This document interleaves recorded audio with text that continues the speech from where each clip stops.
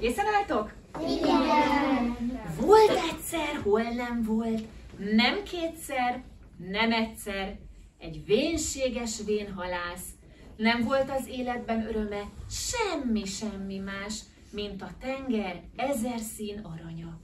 Volt neki asszonya, vénebbnél vénebb banya, tenger mellett apróbbnál apróbb kajibája, hogy az öreg asszony azt mindig tele kiabálja. Egy reggel után virradt a másik. Ám a szerencse nem ment halászni az öreggel. Hálóját a tengerbe vetette előszörre, talált benne iszapra, homokra, rozsdás szögre. Hmm, hálóját messzebb dobta. Ám a tenger mit kínált? Ó, hal helyett, fú, szutykos csigát, rák helyett, lá, nyálas hínát.